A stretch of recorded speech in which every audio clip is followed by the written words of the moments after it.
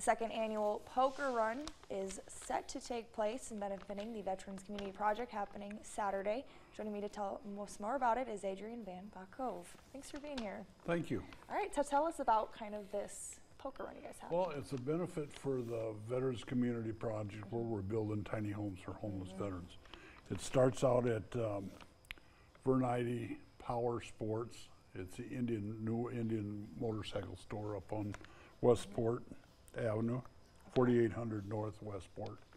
Okay. And it'll be running through Dell Rapids, Egan, Garretson, Corson, and then back to Red Rock Bar, where we'll have a live band called the Stallions, Okay. and uh, be food to order from the bar, from the bar.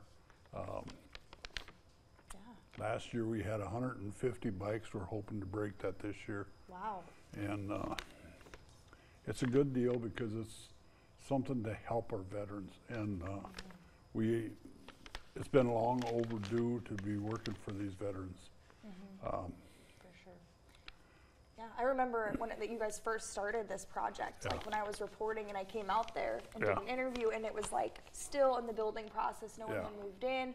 It's so like inspiring to see people moved in and Yes, actually like yes. benefiting from this. How Yes. awesome is this project? great. I mean, it's just, I didn't get to be here for the people moving in because I had a wedding in Denver. Mm-hmm. So I wasn't there for that, but it, every time I go out there, there, it's really refreshing to see somebody actually moved in. It really, it really touches your heart. Yeah, it like, does. To see It that. does. Yeah.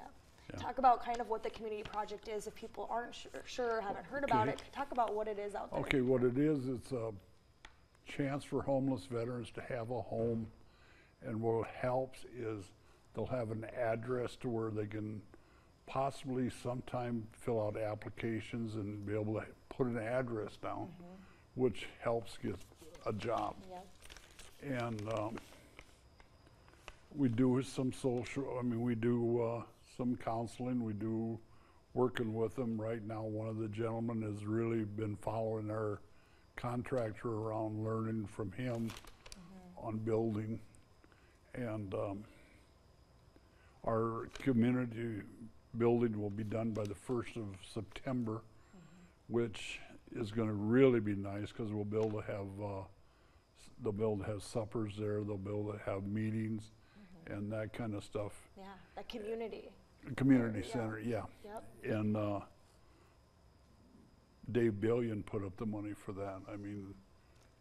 And it really helps this fundraising too. Yes, as it does. So this Yes, it poker does. run is a big fundraiser for you guys Yes. as well to do what And- you're doing out there. yeah, and we got five more that are just about done.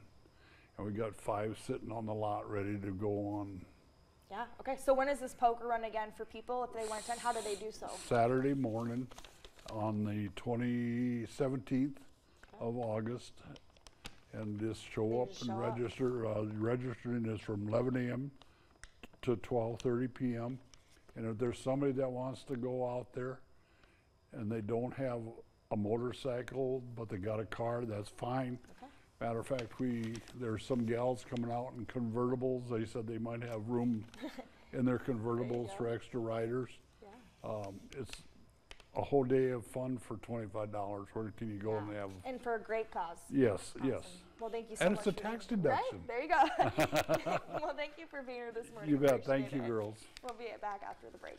Okay.